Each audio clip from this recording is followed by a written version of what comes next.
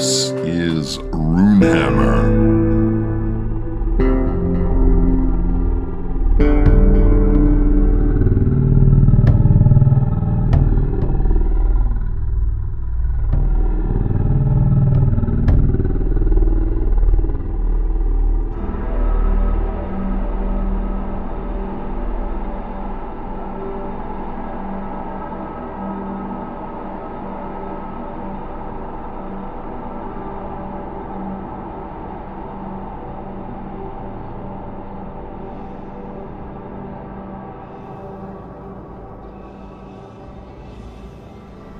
Distant world, one of the Asterian megaplanets known as Aster 12, in the jungles beyond the old stone bridges which are now choked with vines and other weird plants from times forgotten, there's a small group of squags, bubble helmeted, breathing that strange liquid they do, and they work furiously, even through the freezing nights of that weird planet, digging excavating, searching, and down beneath what was believed to be a towering stone ruin, in fact, the nose cone of an ageless starship.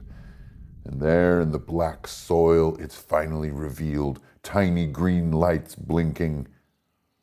And those three that found it are vaporized instantly. This is nothing less than the RPG mainframe.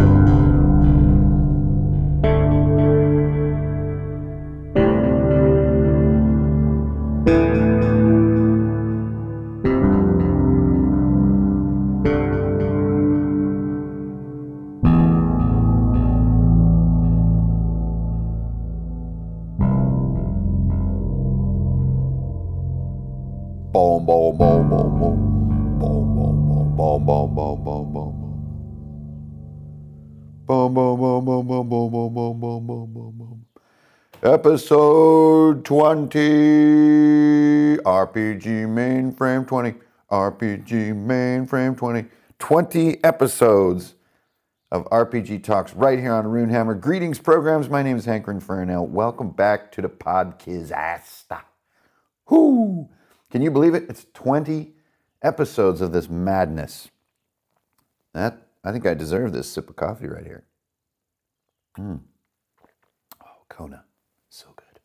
Welcome back, everybody, and thank you for your ongoing support of Runehammer. We are creating RPG stories, legends, theory, deep thinking, all right here on Runehammer. Thanks to you guys. You're the bomb, and we have made it to freaking 20 podcasts. I can't even believe it. I had no idea where this was going to go when I started out on the journey, and you guys have just let me know that it is worth doing. So every week, have to sit down for a few hard hours and think, hmm, what do we really need to think about this week? So for episode 20, I wanted to do something sort of way off the map as far as the usual drill here at Runehammer. But before we get into it, um, you know, I'm down here in the basement of uh, Runehammer headquarters every few seconds another envelope plops through that hole in the ceiling and i think i'm expected to read and sort all this mail kick off that mailbag music will you maestro Mailbag day, mailbag day. Let's go see what's in the mail today. mailbag day mailbag day let's go see what's in the mail today oh man it gets dumber and better every single time i hear it Okay, so let's start off with a pretty big mailbag. Uh, so, first of all, there's an interesting trend that's been occurring in the mailbag, um, which is that the questions actually seem to be thinning and they seem to be slowly morphing into more like statements, which is kind of interesting. So, um, last year, it's like lots of questions. How do I do this? And what does this mean? And what's the deal over here? Questions about ICRPG, stuff like that. I think between 2E improving and there being more YouTube and people sort of catching up, and maybe I hope the quality and explanation of things improving, these sort of bafflement questions seem to be on the redux, and more statements about like what people have been happening at their table have seemed to be imp- improving or increasing. It's kind of an interesting trend. I get between 10 and 50 messages per day between YouTube and Facebook. And so you do notice like statistical trends in what people are talking about. It's very odd. And sometimes they're definitely like hacking and baffled and need help. They're setting up campaigns. They're, you know, they're trying new things. They're making classes. They're making monsters.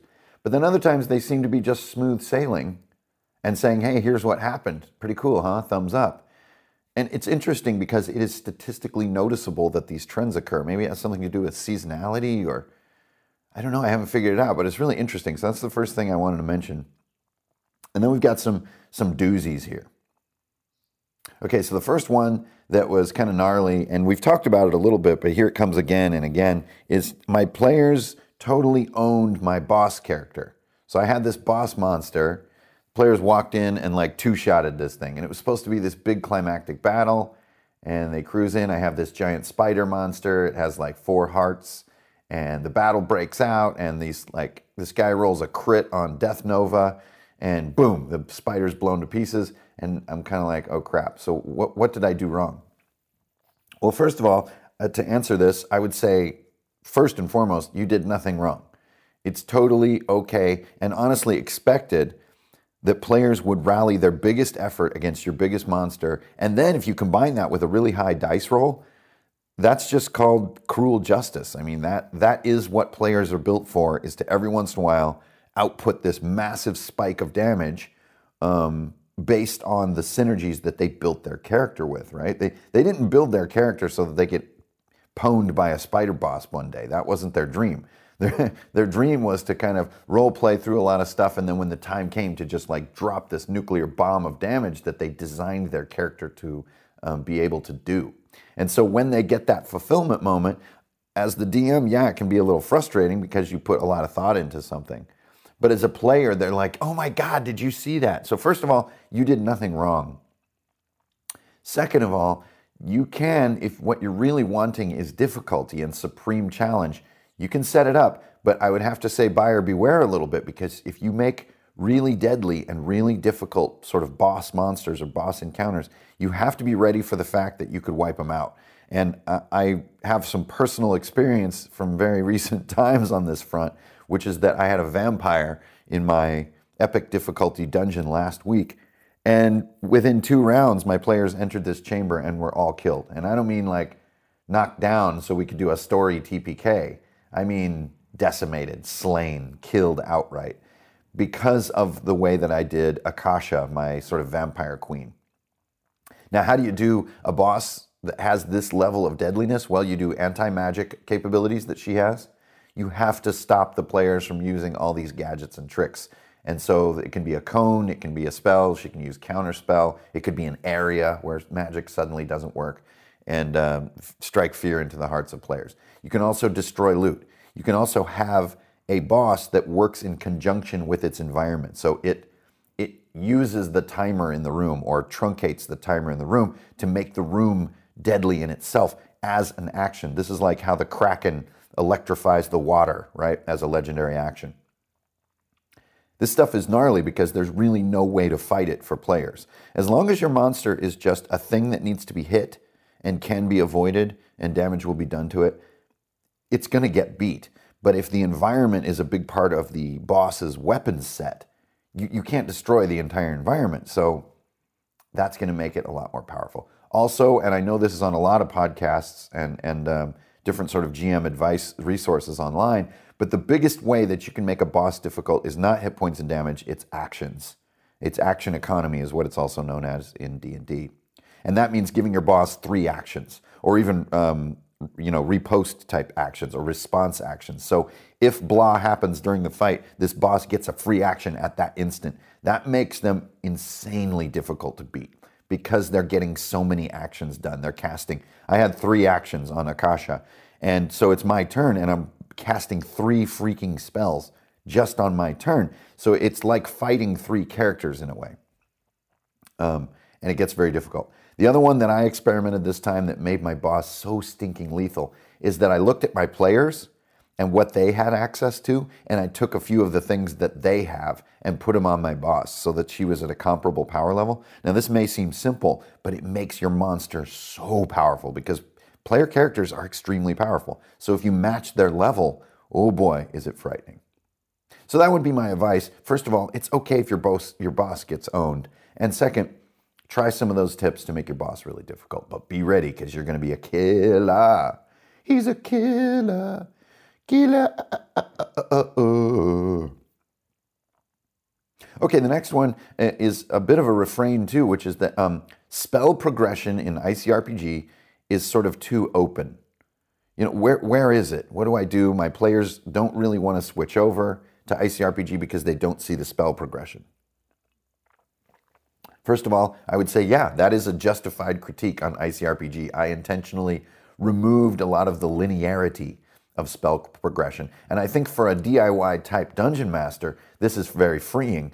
But for a player who's um, sort of doing this sort of option catalog behavior, you know, like I want to look through my option catalog and, and shop. I want to go shopping for my dream character. For that type of player, the game is probably pretty dissatisfying, but the intent of the game here is to let the dungeon master DIY a progression for his player on the spot. Now, is that asking too much of a dungeon master? I don't know. This happens a lot in ICRPG is that I just ask you to go ahead and come up with it. So let's say you have this player and you want they want to play ICRPG and you want to answer their their desire or their dream. What I recommend trying is to make yourself a little tech tree. A tech tree is an old term from like RTS games back in the 90s, you know, like uh, Warcraft or Dune. Um, and what you want to do is just make, literally draw a little tree. It starts with two nodes in a line, and then there's a split, and then those two nodes each have a split, and then there's three nodes deep past that. And this provides characters a sort of one way trip down the tree. You show them all the options that are available on that tree and they're going to move through. And when they're awarded a milestone, they're going to pop to the next node on the tree. It's all really simple. It's just up to you to pick those spells based on a theme, like this is the Fire Mage tree. And then also decide during play when is a good time to say, Ooh, yes, you just realized the nature of fire in a deeper way. You can move to the next node on the tree and take that spell. But the key isn't even so much what happens during play, it's showing the tree to the player at the beginning, at the, at the inception moment which will get them that buy in. It's this feeling of seeing what's going to be ahead, like dreaming up this super powered fire mage that they don't have yet, but they can play toward. That aspiration is a big part of why D&D works so good, is that players love D&D. Now, I would argue the more 5e begins to age, dungeon masters are starting to dislike it. But I think as a player smorgasbord, it's a beautiful, beautiful game. I mean, obviously, all the art is amazing and all, but as far as like catering to player dreaming, I think D&D is pretty brilliant.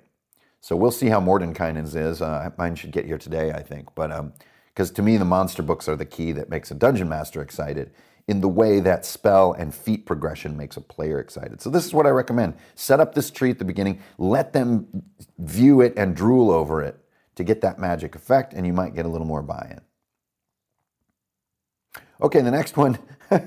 this is a funny one. I, I bet this will be surprising to some people, but I get loads of questions about first edition ICRPG books. Can I get first edition? I want first edition.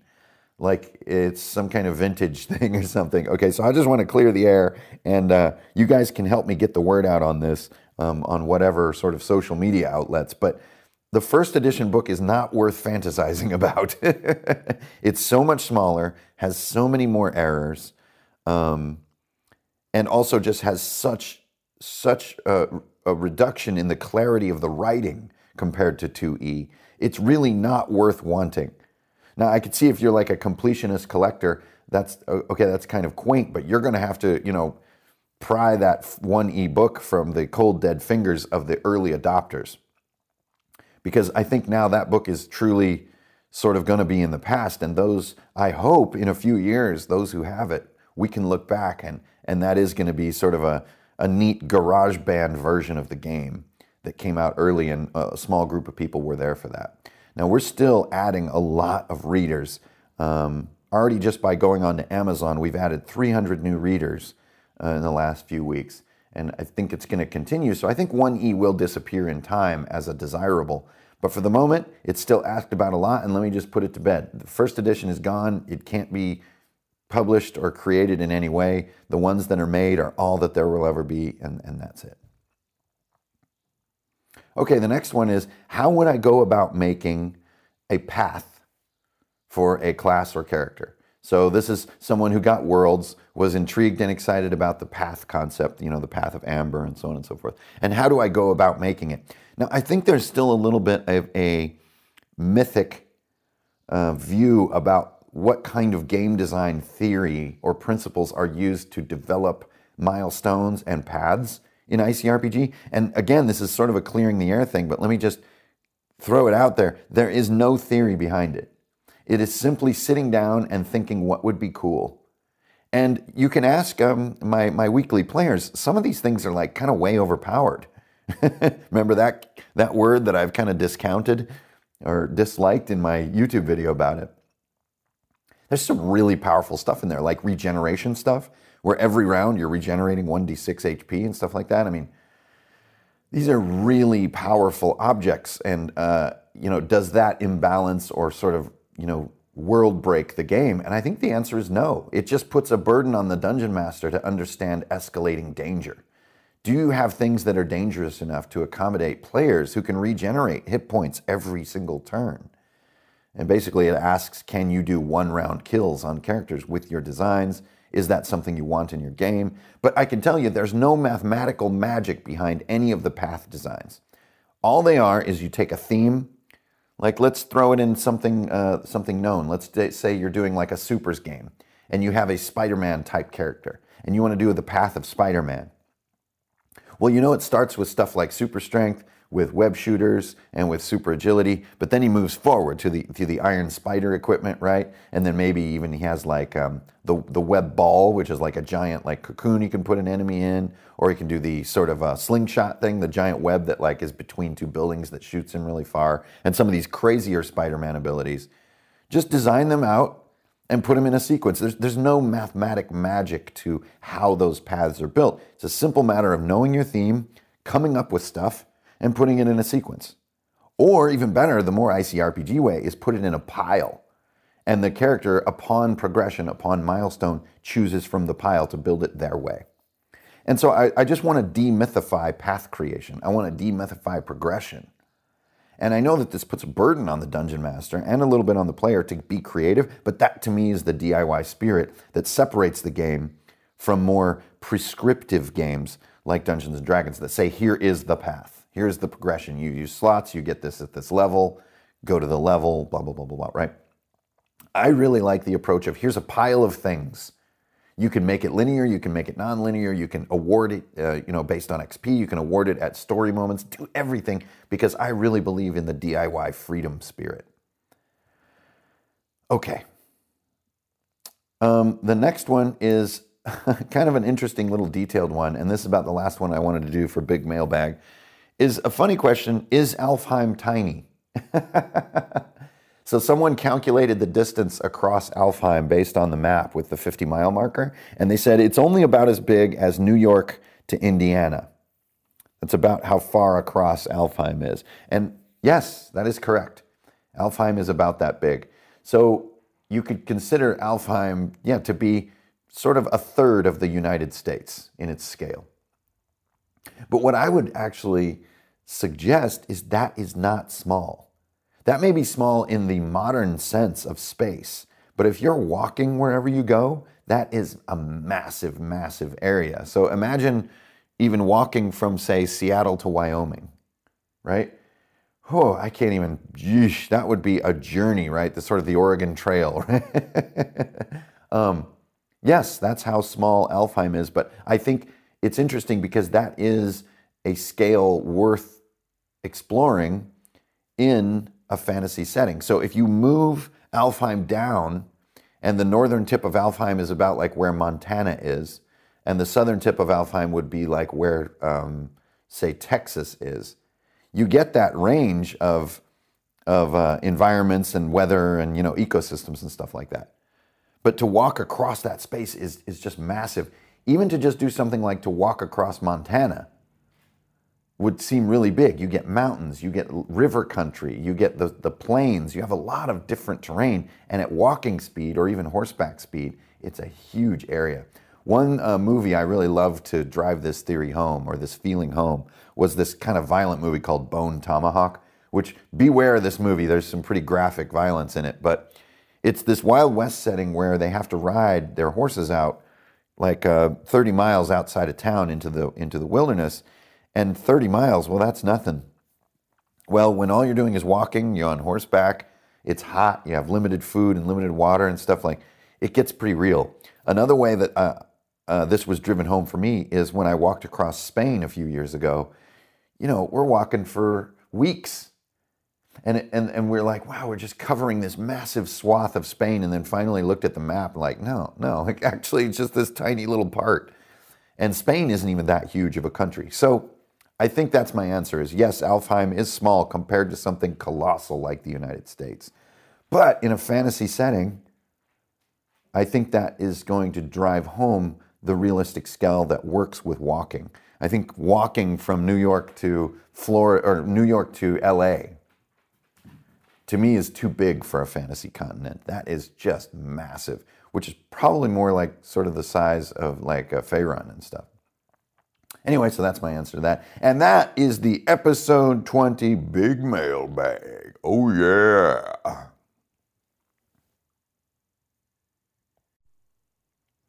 Zabadoo, zabadee, here comes the main part of the P O D C A S T. All right, guys, so I wanted to switch it up just a little bit and go off the map. well, ironic to say, but go into the map is more like it for episode 20 of RPG Mainframe. And this is a, a response to Gary over at Murder Hobo Show. And of all of the different requests for um, you know, deep dives that could be done and topics that want to be talked about and curiosity and so on and so forth. I found this one to be truly unique and, and a bit surprising and kind of like, well, that sounds interesting. Yeah, I think I could get into that. Let's do that. And that was Gary's request to do a lore dump about the cities of Alfheim. And so that's what we're going to do right now on RPG Mainframe. We're going to talk about some of the, the bigger areas and cities in Alfheim and some of the lore that is not written in any place you can really get it directly. Now, if you really are into Alfheim as a setting, you know, not necessarily just as using it out of the book, but as, you know, DIYing it into your game or, you know, drawing inspiration from it, you can get the most detail out of the novels. And I'm really, really proud and excited to release that trilogy book, The Legacy of Mud, that just came out on Amazon. I am it to me is my first work of fiction that is truly complete. It's a huge book, 500 pages with 21 illustrations um, and a map and everything. And I feel like I, I really made it to the finish line on that project, which took more than three years. It was that was a really huge endeavor to get that done, and I really hope that sells well because, to be honest, that is where I want to go with my with my career, with my work. Is I really want to write more books like that. And so that's where you can get a real uh, deep dive on Alfheim. Okay, but let's say you're not really a novel reader, which I think most of my RPG readers aren't really huge novel readers. At least that's what the sales would suggest. And so, short of that, I'd, i wanted to do a podcast today, which is just a nice, deep lore dive on several key areas inside Alfheim that maybe haven't been fully explained or talked about that might be interesting seeds of adventures or campaigns or one shots that you might be doing with your group or plan on doing with your group, whether it be online or at home. So, the first location I really wanted to talk about was Inglemoor. Okay, so Inglemoor is a small town in sort of southern central Alfheim near the Greenway. And this is particularly significant because it's really featured in the second book, The Shield of Hanar. And that town is uh, delved into quite a bit its history and exactly how it got there and what it's been through. But to make that long story short, Inglemoor is built on a series of caves in the limestone which date back to, to proto man. So, when mankind was still like under the heel of the Serpent Kingdom in the early days of Alfheim, th- there were sort of proto men that lived in these series of caves. As the age of men unfolded, these caves became more like catacombs beneath a town, and they were used for burials. And then eventually, sort of Inglemore became darkened, and this is back when it was called Ardenmoor. It was ruled by this family called the Ardens. And they were sort of cultish. They worshipped the Ogdru and other sort of old gods from the Serpent era, and they concealed their activities in this series of catacombs under the city. Now, eventually, after the sort of wicked ways of the Arden cult were discovered, the townsfolk of that area, in, in sort of a night of hellish retribution, destroyed the Arden family, burned the catacombs, and the whole thing was sort of uh, scratched off the monuments, if you will, and the town's name was changed to Inglemore, and basically the catacombs became forbidden. As the centuries passed, the catacombs wound up being reopened and used in the most a little bit horrible way imaginable as a prison and as an asylum for the insane. Now, the town was not dark and evil anymore, and so this asylum or this prison was actually on the up and up. It was a good place. Now, this is a bit of a, a dark, you know, um, habit or behavior of medieval cultures is to, you know, confine the insane and so on and so forth. But this was their only solution, and it was done with the most humanitarian intentions in mind. But there's a strange thing about uh, places that are delved deep in the earth is that they they tend to be tainted with or breathing with sort of ancient evil, and it just sort of keeps returning. Something about the deep earth invites dark forces. And in the second book, these sort of tentacle creatures do wind up coming up out of these catacombs. Now, what I wanted to talk about uh, a little bit with Inglemore isn't necessarily just the details that are in the Shield of Hanar, but exactly what the kind of uh, expanding lore of this town are. I based this town on the town of Santonia in Spain, which uh, is home to one of the no, most notorious and terrible prison disasters and tragedies, basically in human history. And if you want to read up on that, feel free. It's in the 1500s. It's pretty crazy.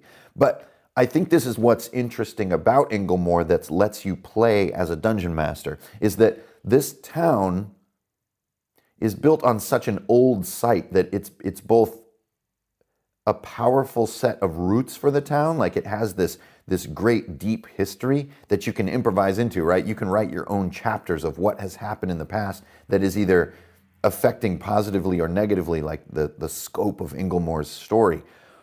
Or you can take that forward. And this is kind of a little bit what Santonia freaked me out about is like this long past of these caves was now being sort of uh, repackaged. So what was once an asylum becomes a prison. What was a prison actually becomes an underground cathedral. What was an underground cathedral actually becomes a bunker. And then what's a bunker actually becomes a sort of a bastion for the rebellion. And, and the rebellion is now a force of good that uses this kind of ancient site. And then also, I love ancient sites because you're always discovering new parts of the ancient site that were previously buried or lost, right? So let's say Inglemore does sort of clean up its act, and the catacombs are no longer a prison or, you know, they, they no longer house any darkness, but there are occasionally, you know, rats down there that need to be cleaned up, or maybe they need to be maintained as an archaeological heritage site, and your players are doing this and they discover a sort of a false wall. There's actually a chamber behind here, or a newer set of tunnels, or the floor collapses and leads to subterranean caverns. But either way, I like the idea of a town built on a miniature Underdark and, and where this could go and what's needed to do in this town. So, of course, there's a town above ground, but the focus of this town is this ancient site that's below. And I think that's very interesting. And then I think another uh, idea that I eventually wanted to toy with is there's actually a transit system that's under this town. So maybe it could use a system of portals or even just really long tunnels or maybe tunnels that uh, great worms have dug that leads to underchambers of other towns in the Greenway and beyond. And so Inglemore, I think, is a really fun sort of base of operations town for a group because it sits centrally, um, but also because it's built on this ancient site that has like this ever revealing history that you can easily DIY and create and add your own chapters. So that's a little bit more about Inglemore. And then there's the Ardens. Like maybe the Arden family was never vanquished. Maybe they're still around. It's this, uh, this almost like Templar type feeling or like witch hunters. You know, they're sort of overzealous, kind of righteous, uh, you know, evil vanquishers who are totally evil in themselves. so, a common theme in some of my stuff, like in New Haven. Um, but the Ardens are really old, and maybe they just concealed themselves when they were defeated. They weren't vanquished entirely. So, a little more about Inglemore.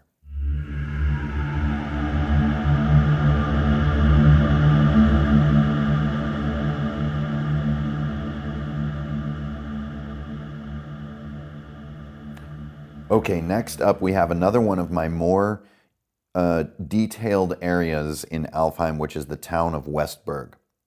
Now, this one is uh, greatly delved into into the first book, Mud and Horn, uh, Sword and Sparrow. Uh, it's also been explored in Hathor Dur and the Rangers of Numidia stuff that I've been doing on YouTube. But I think what's most interesting is what's about to happen with Westburg, which, uh, if you guys listen to Hathor Dur, underneath this town, there is actually sort of a time rift. There's some kind of rip in time, and there was this elder worm, a great worm, that was feeding on this time rift. It was somehow eating the energy that was calving off of this rip in the time continuum. So, first of all, whoa, what is that all about? How, how does a worm eat time energy? And what does that mean for the nature of the worm? Is it in, in multiple times, or is it like shortening time, or is it creating an alternate timeline? I don't know, but I just want to offer hooks that could create ideas for DIY dungeon masters out there. But to me, what's interesting about this sort of worm that's feeding on the time rift is the unexpected results of this happening. And, and what I would like to do as a dungeon master in Westburg is actually begin to reveal new and strange effects of this time rift. And they could take the form of something like a warp stone right? So if you guys remember my mapping session with uh, Nate Vanderzee on WASD20 um, last year, we did this whole kind of brainstorm on this this warp stone idea that had changed the um, the prince of the town into this rat creature, and like a warp stone is kind of a MacGuffin that can explain all kinds of story hooks. It's a a stone, a location, an object, a relic that is emitting evil energy, and the, the idea of the warp also comes from 40k, right? It's this this subspace and when subspace leaks out, it it taints, corrupts, mutates, and changes things in all kinds of different ways. And it's sort of a source of infinite story fodder. And I would propose that the time rift under Westburg is very similar. You've got a chance here to really muck about with when things are happening, your ability to retcon them, your ability to go back to the Serpent Kingdoms or forward into a spell jamming time. Also, like what is going on with creatures that feed on time and how could you play with that? And then, more interestingly, how could you battle a sort of a time devouring creature? Would it be sort of like a phase spider type fight?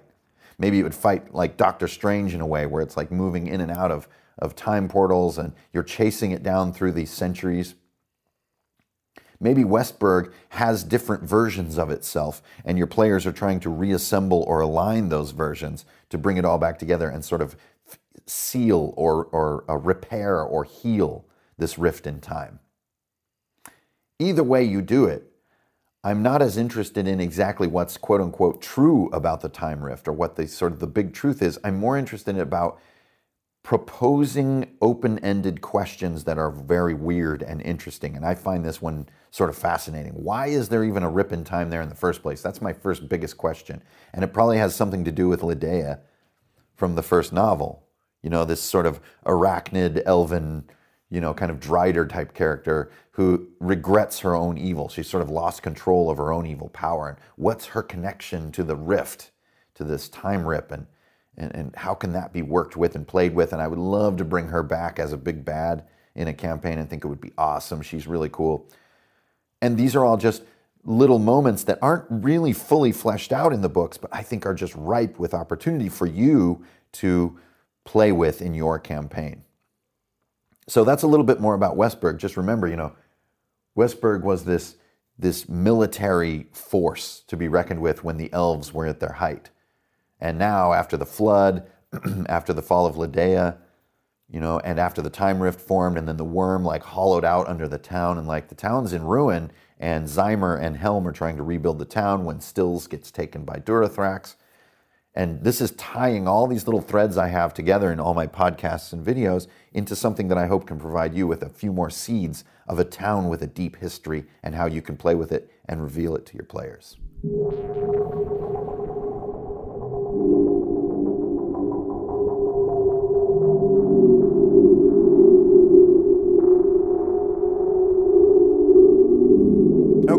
The next um, sort of deep lore dump we're going to do on Alfheim, thanks to Gary at Murder Hobo, we're going to talk about Ramthas, the, the Rock of Ramthas, or Ramthas Rock as it's also known. So, again, this location appears in a couple of my novels. Actually, I think it's in all three novels, really, but is never truly delved into, and I, and I like that part. There's a couple little hints um, in Worlds and a couple little hints in Core, but really has not been talked about in detail. And uh, same with um, uh, Duramoro. The, so these are sort of my dwarven parts of my world. Even Iradrum um, in the e, in the west uh, haven't talked about in great detail, and that is largely because I have not quite become ready. Uh, and now the dwarves are so close to my heart that if I ever do go in depth with these locations, I want it to be so perfect and so good. I think I've kind of shied away. But for the sake of this podcast, Let's just talk about Ramthas Rock for a minute. Ramthas Rock is my thinly veiled tribute to Minas Tirith. So, the first sort of basic uh, lay of the land here is that there's this massive stone formation that's out in uh, sort of central eastern Alfheim. And a, a, city has been built into it. And this makes for obvious tactical advantage. You know, it's a, a practice commonly used in megalithic uh, you know, states of the ancient world, uh, like Jordan would be a good example. Um, Portugal has some of these kind of crazy type ruins. I know that Spain has some too.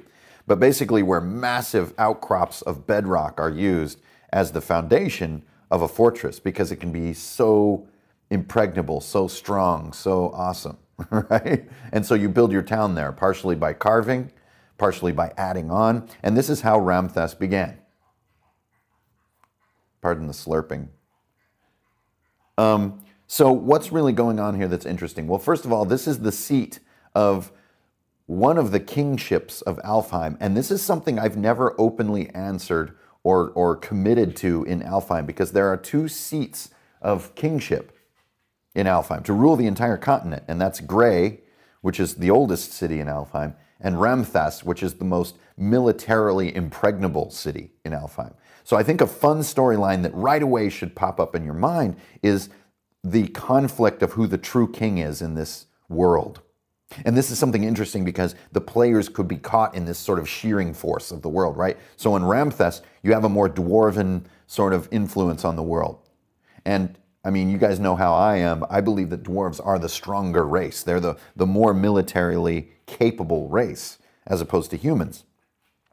But then the human element would be more scholar based. It would be more like this, this lineage, right? The, the rightful uh, heir or kingship.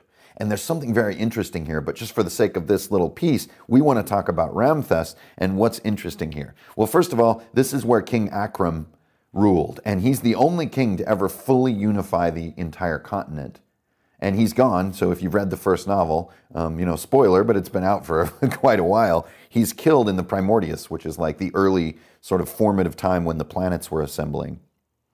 And his absence is a huge part of building any campaign, I think, um, or dis- or going through his his death, or maybe you retcon your world and King Akram is still alive in your time. But I imagine him as the most magnanimous of all kings in Alfheim, and him being gone, I think, is a good seed for more adventures.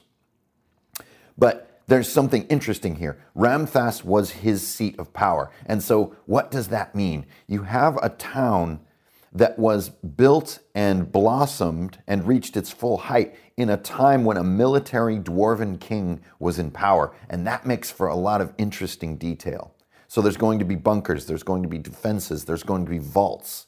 The forges in this place will be legendary because they were manufacturing this war machine. They're making all this armor and swords and weapons and siege machines to wage war on the dark forces of Alfheim, which in Akram's time were elves. So this is another thing that you can play with with Ramthas is this is a place where elves are not going to be welcome. Now you could have a future which is brighter where elves are being accepted, but you're going to have always this sort of old guard or, you know, outdated older dwarves who refuse to ever be friends with elves. I know this is a classic trope, but here is the place in Alfheim where this trope lives. Is that the military high day or, or you know, uh, fluorescent times of this town have passed. And now what? And I think this is interesting for Ramthas. Like, does Ramthas become a desirable location? One of the things I love about Erebor in The Hobbit is that it's a, it's a strategic location. It's this dwarven stronghold that is centrally located, and it makes sense for dark forces to want it. I like that a lot, and here is your chance to play with that in Alfheim. It is Ramthas Rock. So let's say we even take it beyond the elves. Let's take it somewhere darker, like the snow orcs. So the snow orcs reach, for some weird reason, which, which is another story hook, they reach this new height in population and they actually gain enough population and momentum to take Ramthas Rock. Now, this would be a huge coup in Alfheim. This would be crazy. This would be like orcs taking Minas Tirith. So now you have Ramthas being controlled by snow orcs, and they're starting to delve into the deeper vaults and the forges. And if they get in there and they find all those magic weapons and they start to manufacture their own war machine, they're going to be unstoppable. And here's a great campaign seed for your players is for people to put down their differences, go out and try to retake Ramthas. And of course, the siege is happening, but playing out sieges in a campaign isn't terribly interesting. So the players are sent on this kind of side mission to go under or to go around and to sort of infiltrate or destroy the snow orc war machine inside Ramthas on the down low. And here's your campaign. So Ramthas to me is fun to use. It's like this anvil. It's the it's the biggest, hardest, most brutally reinforced military city in Alfheim. So, what you do for your story is you give it to evil forces and then set your players against it. The other option would be to go back in time to Akram's day, to the high times of Ramthas when they're fighting the elves, and to be part of that. So to relive some of the sort of epic history of Alfheim through Ramthas Rock, to go back to the glory days and, and to relive those, or maybe to sway a decisive battle. Or maybe you have a twisted version of history where there's this battle that was lost by the forces of good, but someone went back in time to try to change that, and it actually had catastrophic results.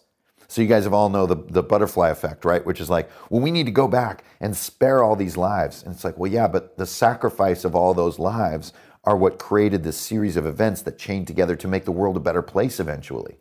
Their sacrifice mattered. So if you go back and you save all those people, actually it changes events in a bad way. And when you return to the present, there's a, a race of mechanical spiders that actually is control of Ramthas Rock. and then playing with those alternate timelines and how this is going to affect the military core of Alfheim. And here's where a lot of these stories can fluoresce. And if you're digging for more detail on what Ramthas would be like, just simply look at Minas Tirith. You know, it's these bedrock cut uh, structures. Or look at um, Petra in Jordan, which is, you know, this series of buildings that are cut into raw bedrock. And, and you get a lot of feeling for what this could be like. Even the, the way they used Petra in Indiana Jones and the Last Crusade, the way the traps felt and the architecture felt, that's, there's a lot of fodder there for creating your own feeling of what it's like to find the deeper parts of Ramthas, or to be inside it during a siege, or to be jumping off of it, a base jump, you know, flying a goblin glider off the top of this thing. I don't know. There's all kinds of possibilities, but this is a massive bedrock anvil of military power in Alfheim, and that's your theme to play with and then the, the falling or the rising of the dwarven kings is the sort of the, the spoon in your soup that's going to stir the story. So that's what Ramthas Rock is all about. And I know it's just mentioned in passing here and there, but if you look at your Alfheim map, you're instantly going to start to see seeds. Maybe actually the Ant Men rise up out of the molten mountains and they want to take Ramthas. And that's an interesting, whoa, who, who wants Minas Tirith to be ruled by Ant-Men? I mean, th- that, that sounds absolutely horrible. So there's stuff to play with. So that's Ramthas Rock, the, the seat of military power. So something to, to mull over. Do a, do a good solid mull.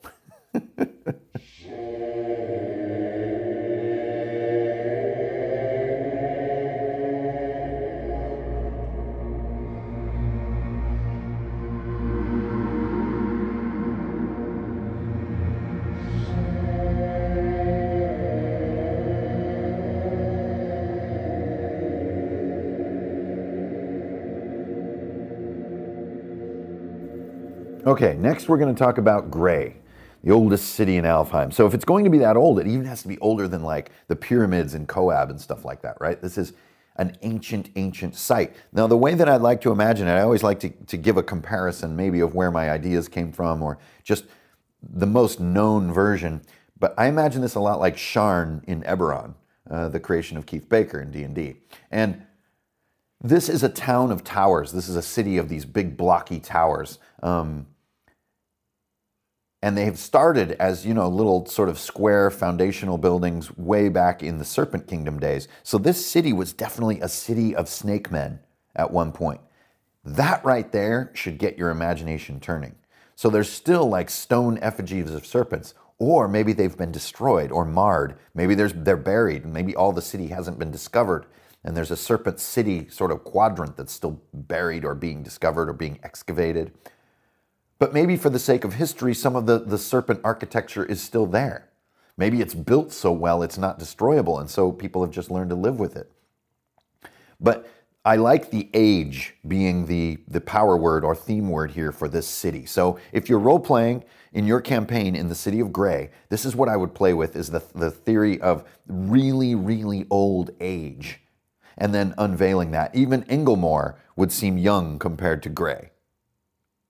And so I think the theme that I would like to play with in Gray is this a little bit of like a feeling of library, this feeling of a repository. This is the oldest and most complete set of knowledge, of books, of magic, uh, and of sort of deep secrets and secret societies in all of Alfheim. This is the this is the nest of sort of pseudo urban culture in my world. Now, I'm very hesitant to get into any like this sort of advanced civilization stuff in my world because I feel like it gets out of hand. It's a slippery slope. And then suddenly you have like lightning trains, like in Eberron, which I don't think belong in Alfheim, which is a much lower fantasy. So, what you do is you just keep their information technology very rudimentary. It's scrolls and old books. But the thing I would have happening is that in Gray, they're constantly uh, uncovering, moving, rearranging, restoring, and caring for the knowledge storage of Alfheim. They're, they're always caring for these books. They're moving around, kind of like the Maesters in Game of Thrones, right? There's this whole culture that cares for, restores, and transcribes books and scrolls. And herein lies your adventure seeds. So anything that involves a theme of a, a forbidden book, like you know, a heretical book, is really cool or maybe some player characters who actually become employed in this effort of knowledge curation.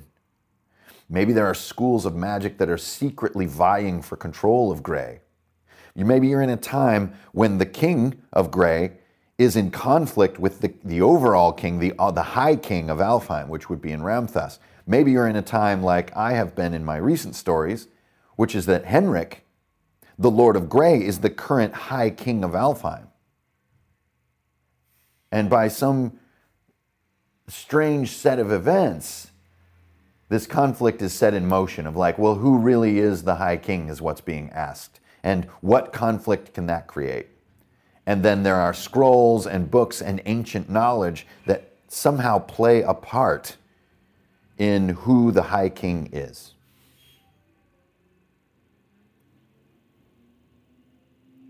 So, delving into the city of Gray, I think could be challenging as a dungeon master because advanced civilizations are highly complicated. So I would say tread lightly here. This could be difficult. But if you can pull off a dense, ancient city, almost imagine like Barcelona, right? Or Paris or Venice, but built 10 times taller.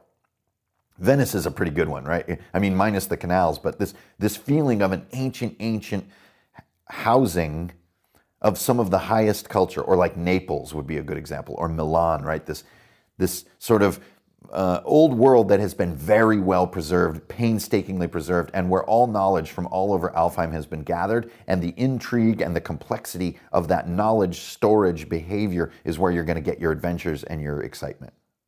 And so that's Gray. And remember, there's King Henrik. He's called the Falcon, and he's like a really good king but maybe he falls. You know, like it's one of my classic twists that I mentioned in the core, right? Is you show up at the summoning of the king and he welcomes you, and then as right as he's reaching his hand out to you, he like turns green and falls over dead. And this is the beginning of the story. Someone assassinated the Falcon, King Henrik, one of the greatest kings that's ever been known, and now it's time to figure it out. And an assassination, especially a poisoning, is perfect for this setting. Another great reference could be the movie uh, The Name of the Rose with Sean Connery.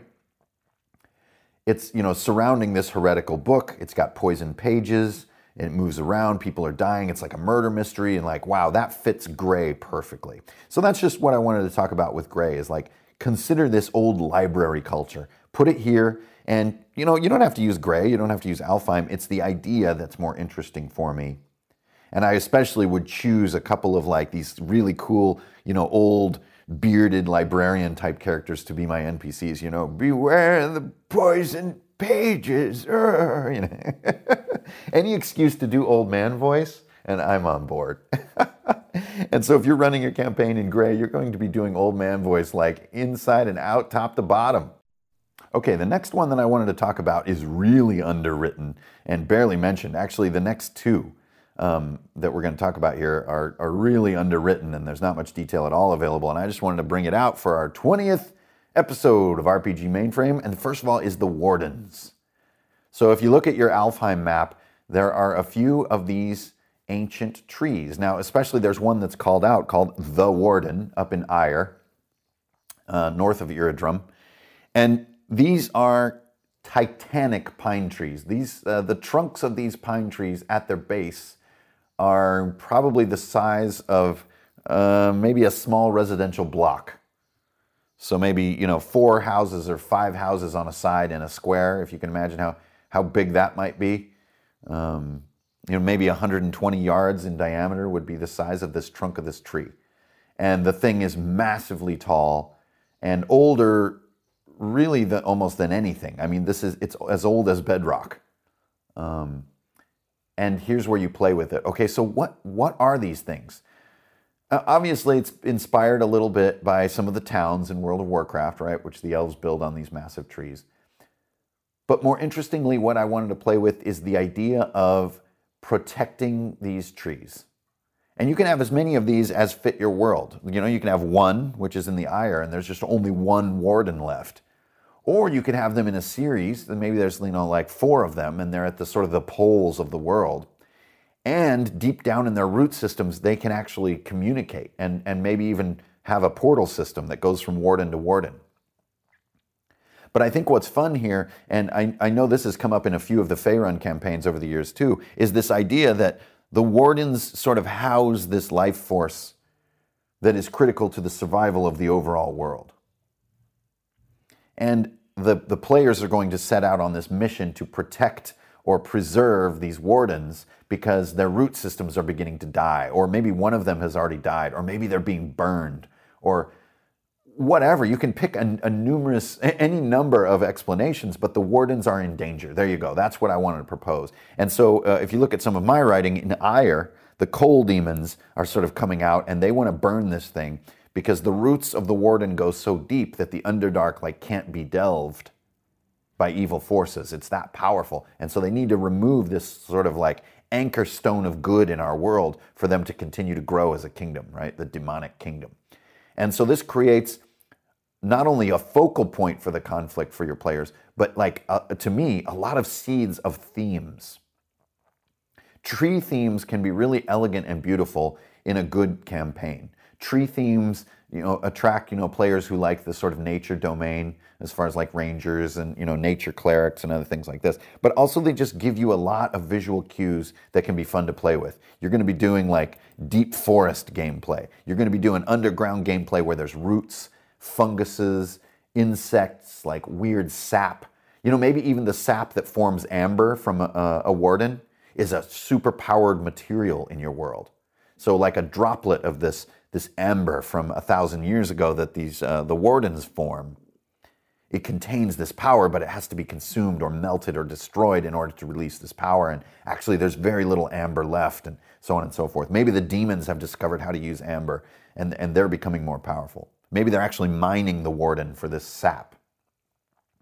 But I think what's important here about the story isn't the details of where it goes, but the thematic cues that you get out of a tree themed campaign. Like the cover or sort of core image of your campaign is this great big pine tree. To me, that already is so evocative. Like, what are we going to do here? Is, is it sort of a wintry world? Is a mountainous world, a forested world? And I think you get into all these ideas, and it's vastly different from something like Gray or Ramthas, which are these urban kind of campaign feels. This one is all about the wild and, and the heart of the wild. And so maybe there are guardians of the warden, and they're like these sort of wolf creatures, or maybe they're like bear creatures that, that you know, kind of come forth down out of the woods to guard the warden.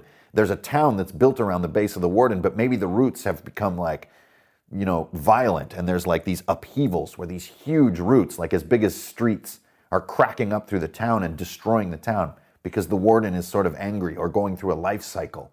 Maybe the pine cones from the warden are triggered by fire, like a ponderosa pine. And there's a big fire around it, and these things drop, and they're as big as houses, and they open, and instead of seeds in there, there's these sort of tree elemental creatures or, or you know, plant monsters of some kind that are made to defend the warden.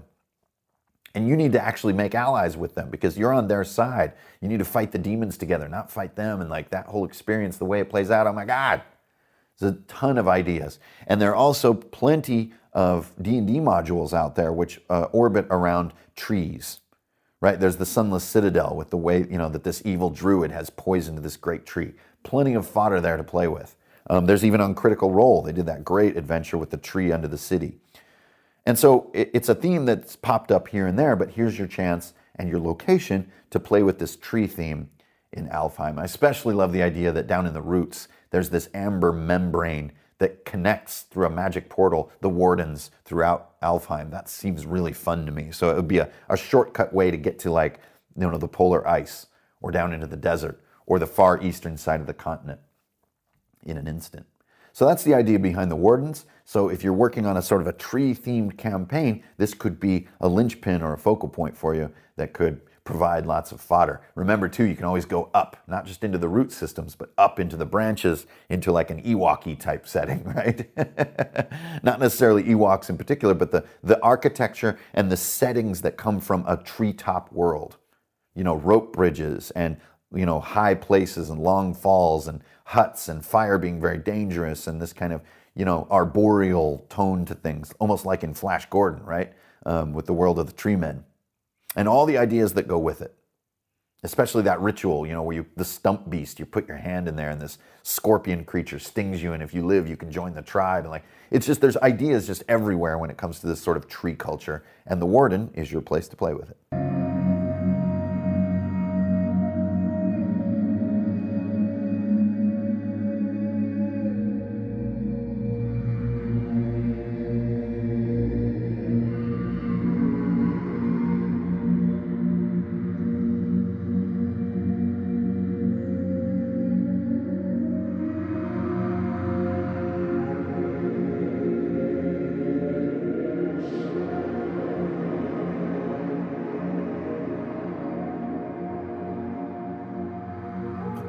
Still trucking on our deep dive here into Alfheim lore for episode 20.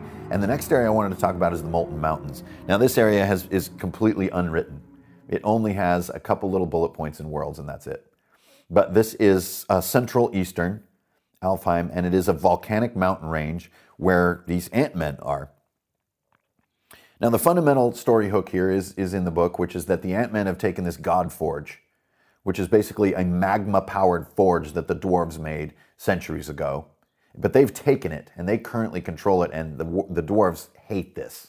They want it back, and so there's an intrinsic conflict between the almost countless forces of the Ant-Men, there's just legions of them, and the dwarves of the local area, both of Ramthas, of the Wall, and that whole area. And they're battling these Ant-Men to take back this forge, which is a, a huge forge built right on a giant vein of magma. Or just an active, a, a sort of a low activity volcano that's been contained and channeled, so there's always this access to like raw liquid stone coming out of the earth, both for its heat as well as for sort of scooping it up into slag and then forming that slag into metal and alloys and other things. And here's your chance to play with your lava theme. So you can go into some of these mountains and play with, you know, lava rivers and rising and falling lava, explosions of magma and burning rocks and tunnels with black sort of sooty walls and all those kind of themes that start to, you know, expand. But it also lets you play with the surface, which is more where the magma is a tool. It's almost like uh, like the canals in Denmark. You know, it's like the magma has been contained in a way where these forges can work nonstop. Maybe they're like you know billowing black soot and smoke up out of them like Isengard, and then you can play with that kind of theme. Maybe the Ant-Men are building something like a giant like war golem out of like this super refined alloy that they make from um, the the magma that's pouring out of the molten mountains. Maybe all your players need to do is just cross the molten mountains. It's just something that's in the way of their journey, uh, like in uh, Wolves and Wonders. And just getting through it, just getting through the Ant Men's territory is their only challenge. They're not there to try to do some big quest, they're just trying to make it. That to me would also be a really fun campaign or series of adventures.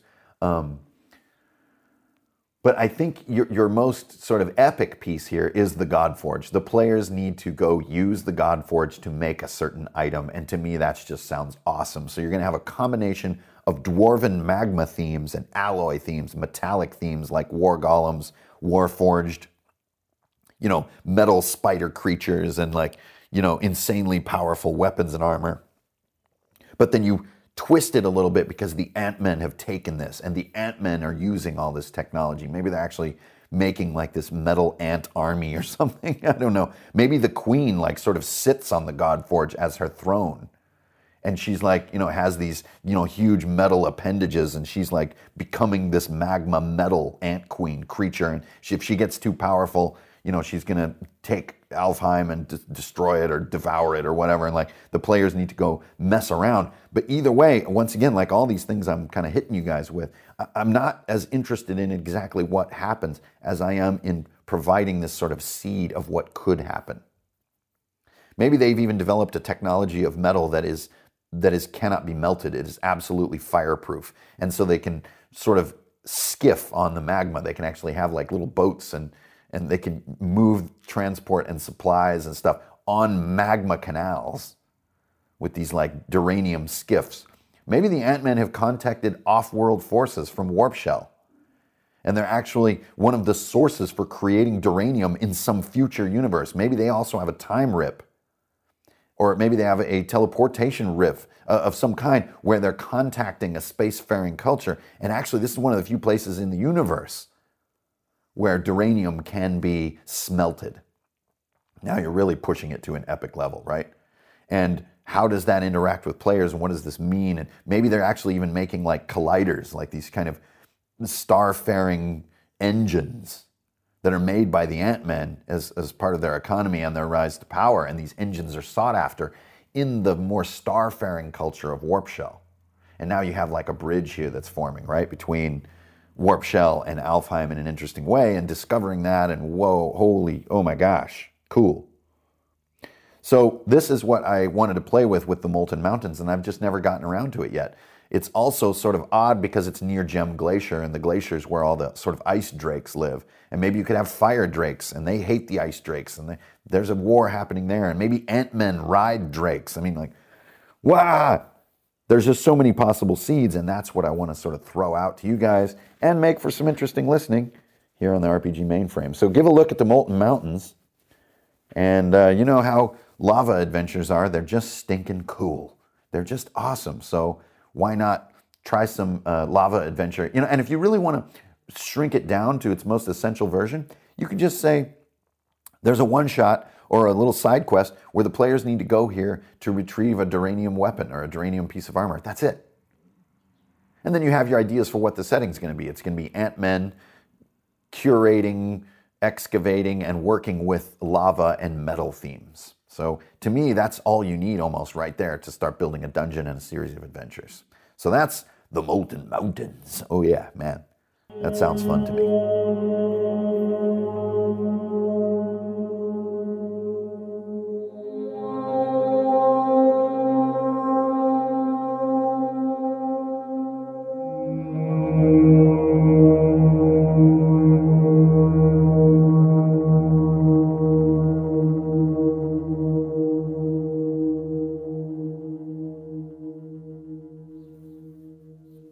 Okay, so we just got a little hint of maybe a way that Alfheim could be connected to Warp Shell via the Molten Mountains, right? But for the next sort of three bullets that I have on my, my podcast today, I I wanted to talk about these type of ideas and what these connections are. And so my little bullets that I'm looking at right here are three. There's the gateways to Ironheart, the gateways to Ghost Mountain, and the Starfarers, which could also be called the gateways to Warp Shell.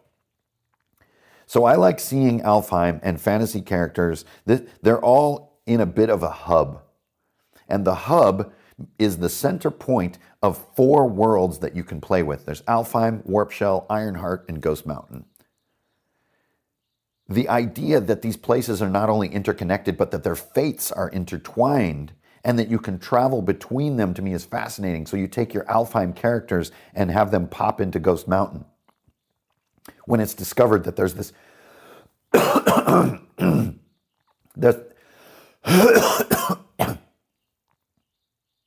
and you have them popping back and forth between those places. And even your fantasy characters appear in Ghost Mountain when they discover that there's this huge Yogg deposit that was torn away in Ghost Mountain. So the idea that your fantasy world links to Ironheart, which is your crazy, weird, you know, the, the, the shattered moon that orbits Earth, the home of Alfheim, right? This is a broken moon that's unstable in time and kind of has like a Flash Gordon type infinite tech fantasy feel to it. Can be really anything you can dream up, but it's the home to the card game. And then the fact, so you have that. Then you have Ghost Mountain, so you have access to a Wild West setting, but you're like a guy with a sword. And then you also have the Starfarers or the Links to Warp Shell, which is another great one, which is the fantasy character who finds himself in a spacefaring setting. And vice versa. You can have your Torton with a Chemrail who is plopped into your fantasy setting. And this is just, to me, is ripe with fun. It's, it's why I loved Spelljammer so much. Um, when our second edition group got into Spelljammer, we just had a blast because it opened up all this sci fi and we had a very Dune like story going with still suits and the spice and the vying houses and all this kind of stuff. Okay, so what are the links? Let's just break it down. So, gateways to Ironheart. Well, in recent times, I've proposed that there are a series of dungeons which have portals to Ironheart, and the first one is Odium. So you guys have heard about the Eyes of Odium. It turns out, and and you know, after this wipe, I can kind of reveal a little more of this. But Odium is this sort of creature that is a dungeon. It's kind of like the Tectura from Warp Shell, right? But it has these two portals in it, and the portals directly lead to Ironheart. So you can actually look through them and look back down on Earth from Ironheart, which is a bit of a mind bender. But what's interesting here is that that's where the power is coming from, is kind of what I'm suggesting, is that Ironheart, the reason it's split apart and it's so volatile, the, the force of magic power is in the core of Ironheart. That's why it's sort of blown apart and it's exposed. If you guys have ever watched Savages of Kath, this links to that storyline as well, is that every 53 years, Ironheart gets a little too close to Alfheim, and the heat and the energy coming off the broken core of that moon is so intense it can actually like burn entire forests and stuff. So there could be a great connection here between the portals that are underground in Alfheim leading to Ironheart, and Ironheart then in turn sort of watching over Earth, and your players getting to move back and forth between those is wow, that just whoa. There's a lot of fun to be had there. So the gateways to Ironheart are literally these portals that if you look into them, you can see the sort of shattered um, landscape of Ironheart from underneath Alfheim. So now the gateways to Ghost Mountain, in the adventures that I've run, these gateways are sort of called the Wizard's Door. And I would actually begin to propose that this is what the sort of fabled wizard lock is. You know, the, the glyph of ICRPG has something to do with this. It is one of the, the gateways that allows you to go to Ghost Mountain and back, and allows actually Ghost Mountain to feature um, fantasy monsters like the Invincibles from Doom Vault. And, and how that's interesting. So you have gunslingers battling an Invincible in Ghost Mountain. But then conversely, you have Alfheim characters who might be wandering out into Ghost Mountain and confronting Satan down in the depths of the dead pinnacles to reclaim the Yogg and then bring them back because the Yogg can heal Ironheart. And you see how you can twist all these worlds together into sides of your Rubik's Cube. But either way, the gateways to Ghost Mountain to me should be made possible only by extremely powerful wizard magic. It's not like Ironheart. The, the, the gateways, the portals to Ironheart are almost like these natural conduits or wormholes. But you only move between Ghost Mountain and Alfheim with, with potent arcane force that is harnessed by a caster. They cast this doorway. And going through it can be volatile or can be a one way trip or can be, you know, violent or can destroy your gear or something like that. Um, but it's an arcane spell. And maybe even to link it back to what we were talking about before, in Gray, there is this heretical book that actually describes how to use these glyphs to go to Ghost Mountain because there's a, a cult that actually wants to help Satan get this sort of deposit of Yog so that it's not taken away by God and like, oh my gosh. So I just want to propose all these interlinkages, not to tell you which one is going to be the coolest, but to get your brain turning. Okay, so then finally we have the Starfarers, which is my most um, openly visible link to Warp Shell. So you guys know about Xenos down off the southern coast of Alfheim. This is the biggest one. So this is a massive, massive starship that's like the size of the Greek islands. That's mostly submerged, but inside of it, it's this high tech spaceship that was used by like a gigantic alien race. And this alien race is from Warp Shell. You could even link it to um, Absolute Tabletop's Harbinger world and say that this is like a chunk of or an entire Harbinger that crashed into the ocean here. And there's a link there. You could just have it be a big crazy spaceship that can be reactivated, you know, almost like the Abyss, where those huge alien ships rise up out of the ocean. You could just find records or data inside this ship that lead to a revelation about how to access the warp shell universe. You could have a crashed warp shell that's floating under the water, or it could be like in um, oh, what was that crazy one called where they lived out that whole fantasy, but the whole time their ship had been crashed underwater. Um, Pandorum, right? So you could have your players be the crew on this ship, and they think they're traveling through space, but the whole time they've been like under the ocean in Alfheim, and like whoa, right? And there's a lot of possibilities. But either way, what you do is you use the Starfarer as a doorway of story to access space travel for your fantasy characters, or vice versa, to bring your sci fi characters into the fantasy world where they would be real badasses. If you've noticed, the Warp Shell loot is really powerful. So maybe the Starfarers have already landed, and the fantasy characters from Alfheim need to seek out their help to defeat a Drake or to defeat the Ant-Men or something like this. But either way, what I want to propose in this little podcast piece is that these two things are interchangeable. You can just play, just play, let the worlds mix. And the root or the anchor point of this mixture is the Starfarers down in Xenos. Okay, I have three more items here, and the first one is the Colossi. So we have the fallen Colossi in Alfheim. They're on the map, right? And this idea entirely comes from Nausicaa right? There's, there was this war where these giant weaponized sort of behemoths were created. They stomped all over the universe, ran out of magic power, and kind of stumbled and fell, and now are in ruin. Evil forces are trying to awaken them to, to do evil things again, and there's your storyline.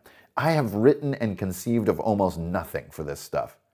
I don't know what is inside them, how they function, but the idea also came from uh, Breath of the Wild, right? The newer Zelda game where there are these huge giants that are so big that they're dungeons inside of them. And maybe they are awakening and they're beginning to stand up and walk, and you're in it while it's walking.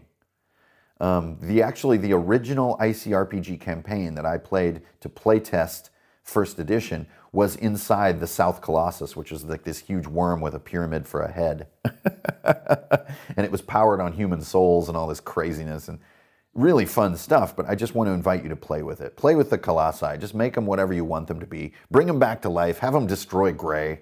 You have to get inside the thing and stop it or control it. A lot of stuff could happen.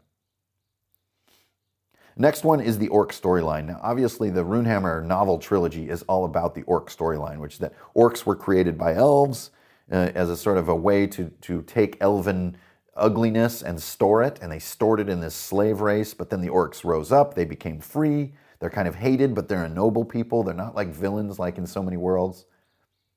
And, and the orcs are trying to preserve their bloodline. They're trying to survive in a world that dislikes them, even though they're not evil.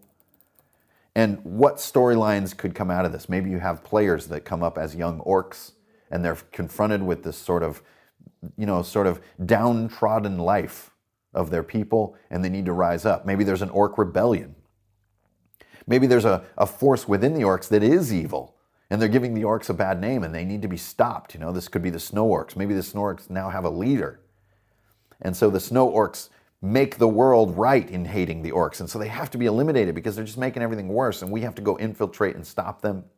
Maybe the orcs join forces against the Ant-Men with other cultures, and you guys are the vanguard of that, and so on and so forth. I just want to invite you to consider the simple flip that orcs are good guys in this world. And you could be one of them, and what stories could arise. And then finally, I mentioned it a little bit with Westberg, but the time eaters.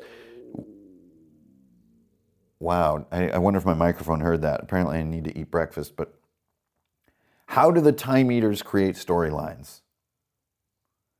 How, how is this happening? What, how do you fall into the rift? How do you, maybe you can ride these worms that eat time. Maybe they can be tamed. Maybe they can be talked to. Maybe they're actually the souls of fallen kings that have been trapped in these enormous creatures. Or maybe they're just forces of nature like in Dune. And a sort of a prophetic character, a Muad'Dib character, could communicate with these time-eating worms and realize that they're not eating time, they're healing the time wound, which was created way back in the beginning or way at the end of the timeline. And that wound needs to be healed to repair the sort of cosmic level damage that's been done uh, to Alfheim uh, when the Primordius was battled over. Any, the, I just want to show you and share with you guys how these ideas fold and unfold. And I don't necessarily want to say what is the truth of this world, but where are the areas that could just be ripe with opportunity? And even this, I don't think, is an exhaustive list. I'm just I'm running out of voice power here. But I hope it was interesting listening and just basically exploring with you guys a little bit why I made the world the way that I made it. I, I intended it to be ripe with possibility, but not ripe with all the answers. And I hope that it's it's played in for, for years to come. Um, I know that our group keeps playing in it and expanding upon it and delving into its themes, um, especially the crisscross between Ghost Mountain, Warp Shell, and Alfheim, I think is what's become the real wealthy kind of um, rich heart of our group is that we all have this context for playing in all these different worlds together and that and it's starting to blur. And I think that's very interesting. And having all those worlds in the same system, I think is the fun that we're starting to experience. Granted, it's taken us geez, almost a year of playing to start to reach some of these dividends. But it is what we set out, you know, last last fall, I think it was. We basically said, man, I want to have a long running group that has all this deep context, and we're working toward that goal. And I hope that you guys are working toward that goal because it's cool. It's the very dividends that our hobby is all about. It's a lot of fun, and nothing's better than just hanging with your homies every week and reconnecting with other human beings to tell epic stories for the sake of telling epic stories. Hell yeah. All right, everybody, thanks a lot for tuning in to Runehammer. That is all I've got for now. Thank you so much for your ongoing support. We made it to 20 podcasts. Every month, you guys make my bills hurt a lot less, and I get to continue to survive as a full time RPG content creator, and I owe it in huge part to you guys. Um, so please check out all the newest stuff, uh, especially that trilogy book. Uh, if you can afford to grab a copy on Amazon, that would really uh, make my day and warm my heart because deep down, I really do want to be writing more novels. It's really enjoyable. I know it isn't the, the, the burning core of our hobby, but it's really challenging and fascinating to write novel length stories. It's, it's really exciting to me. And so that's going on. I'm going to keep on going. I'm going to go get some breakfasts, maybe bacon sandwich up in here. And uh, you guys, have a great week. May your dice roll high. I will talk to you soon. Thank you once again, patrons, and welcome all you new patrons. Everybody, my dwarven shield wall, now more than 400 shields strong. We are going to push into the second half of 2018, and we're going to play D&D like a bunch of big old badasses. So join me doing that, and it's going to be a good future. All right, this is Hankerin Ferinale. I'm signing off for now. Keep it real. Do not steal. You're always going to get a deal. see you on the internet, guys.